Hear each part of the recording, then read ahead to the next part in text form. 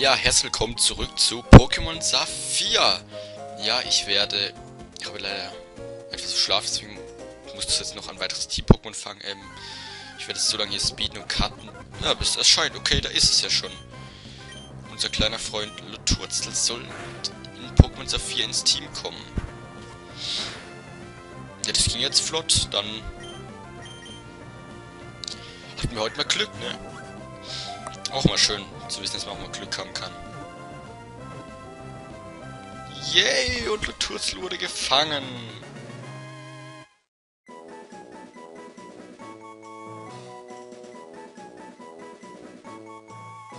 So.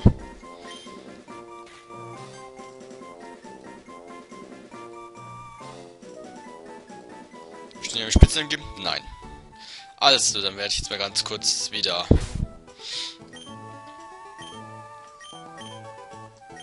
bisschen schneiden müssen, weil ich möchte das Pokémon heilen erst noch und dann noch trainieren. Okay, also bis gleich. So, da bin ich wieder. Turz ist auf Level 9, aber ein wenig mit Speed hat das ganz gut geklappt. Ah, jetzt hör mir auf zu nerven, das war doch im letzten Part schon so schlimm. So, jetzt gehen wir hier rein, es ist Ruhe. Hi, Fadi. Hm. Ja, und das ist Tobi, ist der Umzug beendet. Ich bin überrascht, dass du ganz alleine hier gefunden hast. Oh, so ist das. Du bist in Pokémon-Begleitung. Ich glaube, du wirst einmal in meine Fußstapfen als Trainer treten. Ja, ja. Das sind großartige Aussichten. Ich kann es kaum erwarten. Äh, ich... Ich hätte gerne ein Pokémon. Bitte. Wie du... Ach, gut, du bist Heiko, nicht wahr? Ich werde meine Verwandten in... Ich werde meine Verwandten in Wiesenflur, Wiesenflur besuchen. Ich glaube, ich werde mich da noch einsam fühlen. Da würde ich gerne ein Pokémon mitnehmen. Aber ich habe noch nie eins gefangen. Ich weiß nicht, wie das geht. Oh, ich verstehe. Hast du es gehört? Hilf doch bitte Heiko dabei, sein erstes Pokémon zu fangen. Ich hier, ich leih dir ein Pokémon, Heiko. Ein Zickzack, wow, ein Pokémon. Gib dir auch diesen Pokémon, dann leg los. Ein Pokéball. Ich komme jetzt mal mit. Das müssen wir jetzt nicht angucken, ja. Hohen Gras stecken sich Pokémon, oder? Bleib hier und schau, ob ich es richtig fange. Wow, los geht's. Und diese Schweinebacke, Entschuldigung für den Ausdruck, bekommt ein Trassler. Als erstes Pokémon. Ein Trassler.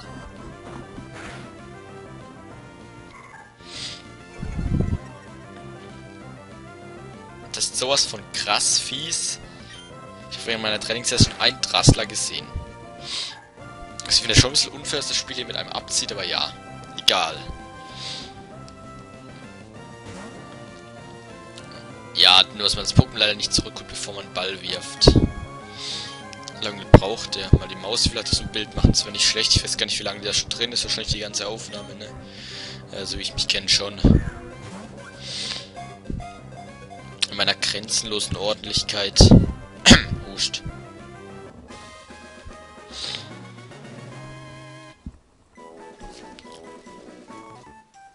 Ich habe es geschafft. Es gehört mir, mein Pokémon.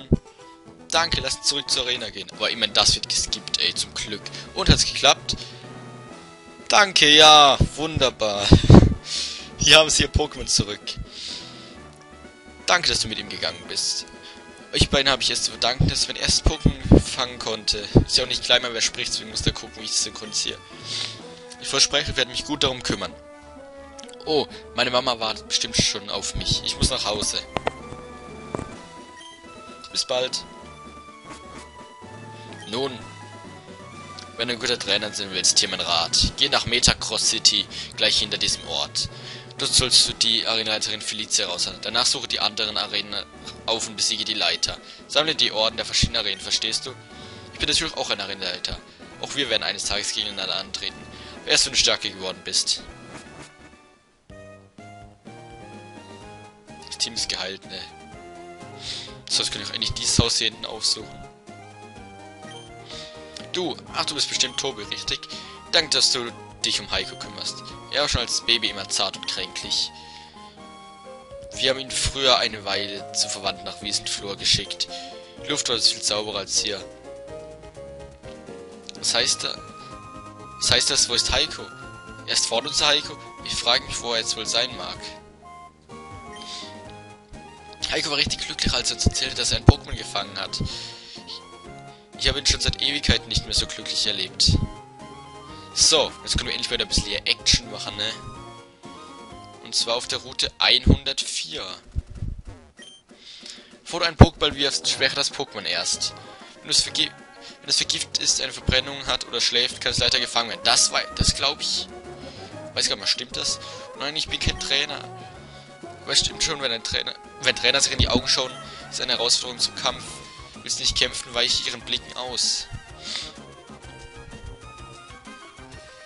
Yo, ein Kampf endlich mal wieder. Spuren im Sand zu hinterlassen ist total lol. okay, also. Kämpfen wir gegen Teenager Fridolin. Das muss gegen Loturzisch nicht so der geile Kampf für mich.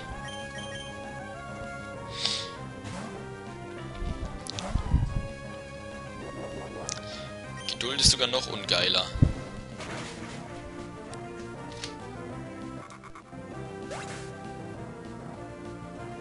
So, entschuldigt bitte ganz kurz. Scholbini ist auch nicht so der optimale Gegner. Ich habe dauernd ähm, das Bedürfnis, auf Speed zu drücken. Ganz komisch. Das ist halt echt, es geht alles hier ein bisschen langsam. Oh, das hat überlebt, oha. I'm mostly surprised, Schwalbini. Das ist eigentlich auch ein cooles Team-Pokémon gewesen, Schwalbers. Aber naja, gibt ja noch Rubin und Smaragd für irgendwann mal.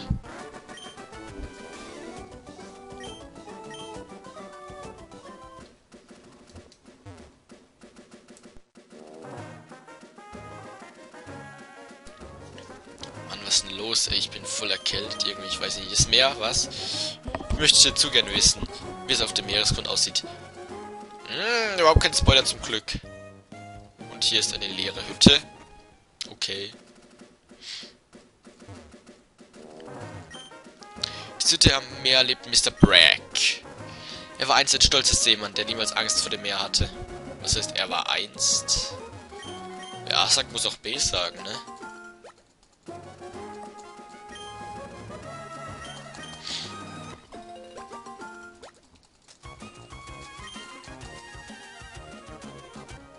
Kämpfe. Und natürlich nehme ich die Herausforderung an. Ich habe eine Menge Geld. Ist ein für anderen nichts zu tun. So. Das ist auch mal ganz schnöselhaft gesagt. Das sollte ich down kriegen mit Hilfe von Absorber. Das könnte zwar eine Weile dauern, aber... Vor allem Absorber so eine ewige Animation. 2 KP zurückbekommen, sind auch nicht so das Wahre, ne? Und die Verteidigungssenken finde ich schon mal ganz ungeil, Zickzacks.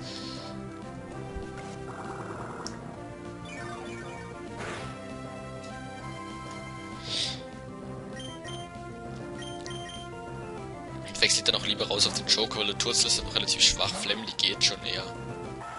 Heuler, ja, das macht mir reichlich wenig, weil ich habe die spezielle Attacke Glut. Schön.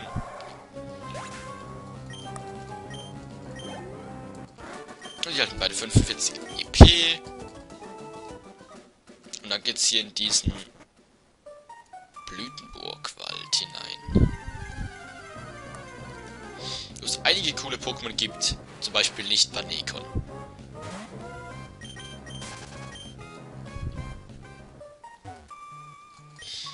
Manchmal liegt auf dem Boden Dinge, die einem auf Anhieb gar nicht auffallen. Da schaue ich mich bei jedem Schritt sorgfältig um. Anspielung auf diesen Trank hier. Danke, ich weiß, dass ich gut bin. Nein, Spaß beiseite. Du bist ein gemeiner Dieb, wenn du versuchst, das Pokémon des anderen zu stehlen. Du solltest deinen Pokéball nur auf wilde Pokémon werfen. So, bitte, wie denkst du von mir, ey?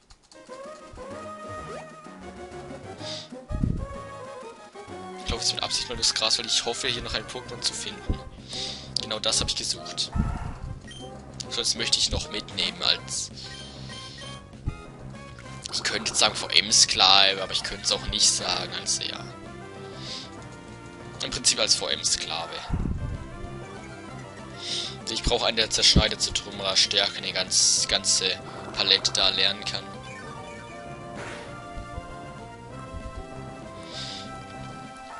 Heuler.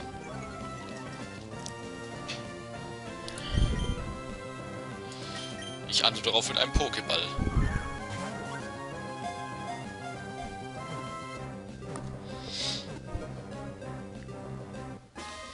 Toll, Zickzacks wurde gefangen. Ja, das ist doch schon mal sehr angenehm. Willkommen im Team Zickzacks. Fürs Erste. Und eine Herausforderung von diesem Käfersammler. Los, mein Käferteam! Hauen wir Käfer sind unglaublich cool. Ich liebe Käfer, vor allem in der sechsten Generation. Ich liebe Käferteams. Also wenn ich sie selber habe, natürlich. Ich liebe Scaraborn, ähm, diesem Namen zum Glück überhaupt nicht zu erkennen. Ähm, ich liebe Voltula, Ramon, Sherox, die ganze Palette Megapinse ist cool. Es gibt so viele coole Käfer, die, mit denen man so coole Teams bauen kann. Also Käfer for the win, ne? Und warum dieser Trainer sechs verfluchte Wampel haben muss. Sechs Stück an der Zahl. Kann ich mir nur vor den Kopf schlagen. Ich glaube, das kostet den ganzen Restpart. Keine lustigen Trainer mit sechs Wampel die ganze Zeit hier. Also ganz ehrlich, das, das werde ich jetzt bieten, weil das ist in keinster Weise interessant. Wenn ich abwechselnd auf A und B drauf haue und Flame Level 13 erreicht.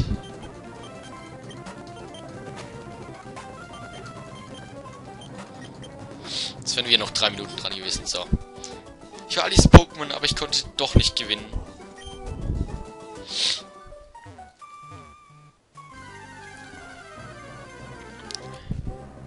Und ein wildes Wampel, das ich zum Glück überhaupt, äh, das ich überhaupt nicht haben möchte.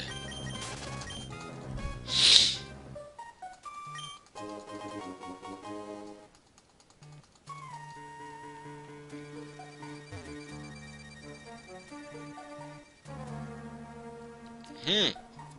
Kein einziges zu finden. Hallo, du hast die zufällig einige Pokémon namens Knills hier gesehen. Ich liebe diese Pokémon. Knills ist auch cool. Oh. Ich wollte dich eigentlich aus dem Hinterl angreifen. Aber du trödelst wohl auf ewigem Blütenburgwald herum, oder? Das Wart macht mich ganz krank. Also hier bin ich. Hey, du Forscher von Devon.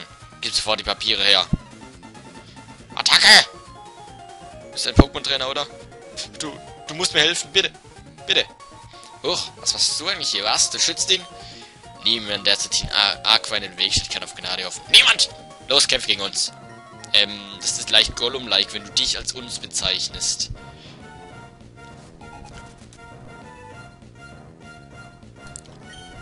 Und ein Fifi kannst du was schön behalten, das kann eh nicht. Jo, Level 8, äh, auf Level 9 können wir darüber reden.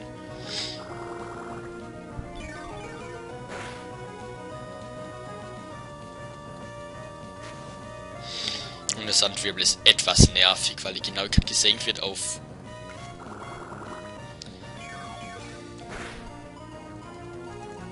Aber die auf 75% glaube ich, legen die nicht drauf fest und jetzt auf 50 ist nicht ganz, ne? Aber beim nächsten Sandfühl werde ich auf jeden Fall ähm Oh, der möchte es ja noch gefährlich machen.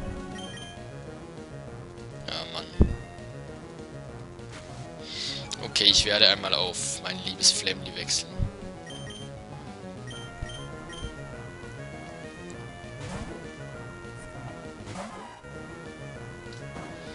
Das tut weh. Naja, mäßig.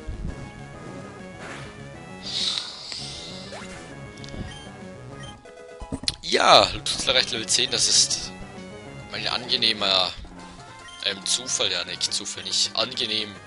Und wir haben das Team Aquarüppel besiegt. Ah, du, bist, du hast vielleicht Nerven, dich mit Team Aqua anzulegen. Los, kämpfe noch einmal. Hm, das würde ich gerne sagen, aber ich habe keine Pokémon mehr. Außerdem sind wir Team Aqua auf dem Weg nach Metacross City. Heute lasse ich dich gehen. Puh, das war mehr als knapp. Dank dir konnte mir diese pa wichtigen Papiere nicht rauben. Ich weiß, ich gebe dir diesen Superball als Dankeschön. Superball erhalten. Auch nicht schlecht. Hat dieser Schuft von Team Aqua nicht gesagt, dass sie irgendetwas im Metacross City erledigen wollen? Oh, ähm, ein Notfall. Ich darf keine Zeit verlieren.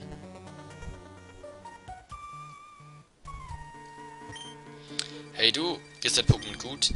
Wenn dein Pokémon schwach sind und du Kämpfe vermeiden willst, sollst du dich vom hohen Gras fernhalten. Wenn du ein Käfer-Pokémon mit zur Schule bringst, bist du sofort beliebt. Obwohl ein Scarabot ist natürlich immer beliebt, ne, das ist klar. Dieser Gute hat einen Kader, das ist ja ein angenehmer Zufall, weil das ist... Typ Käfer Boden und somit anfällig gegen meinen Absorber, also anfälliger als normale Käfer-Pokémon. Ne? Ist natürlich trotzdem normal effektiv, das ist klar, und er crittet mich. Dieser kleine unverschämte Rotzloff, äh, Rotzlumpen, ja, Rotzlöffel. Wäre eine Sch wäre ein korrektes deutsches Wort dafür gewesen.